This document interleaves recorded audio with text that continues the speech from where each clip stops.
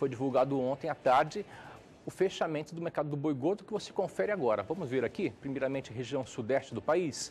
Barretos fechou a 147 reais, igualmente para Araçatuba, no interior paulista. Belo Horizonte, Minas Gerais, fechou a 138 reais, Triângulo Mineiro 137, região sul de Minas Gerais 140, região norte de Minas Gerais 138, Rio de Janeiro 146 e no Espírito Santo 140 reais. Cotações do boi gordo para a região sul agora, com os números da agência Scott Consultoria. Região Nordeste do Paraná, 150 reais. Região Oeste de Santa Catarina, R$ 154. Já na região Oeste do Rio Grande do Sul, o boi gordo fechou a R$ 5,00 o quilo vivo, igualmente para Pelotas, também no Rio Grande do Sul.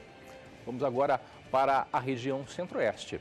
Para Goiânia, Goiás, fechou a 130 reais, região sul de Goiás também 130, em Campo Grande, no Mato Grosso do Sul, o boi gordo foi cotado a 135 reais, Dourados 134, igualmente para Três Lagoas, também no Mato Grosso do Sul.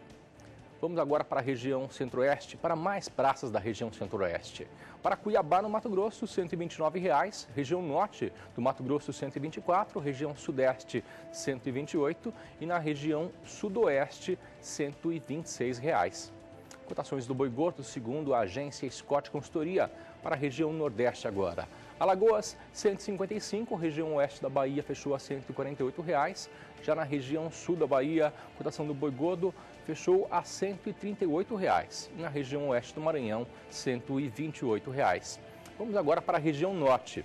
Cotação do boi gordo, preço à vista para o Acre fechou a 121, Redenção 125, Marabá 121, Paragominas 125, região sudeste de Rondônia 124 reais, já no sul do Tocantins fechou a 125, igualmente para a região norte do Tocantins, as cotações do boi gordo, segundo avaliação feita pela agência Scott Consultoria,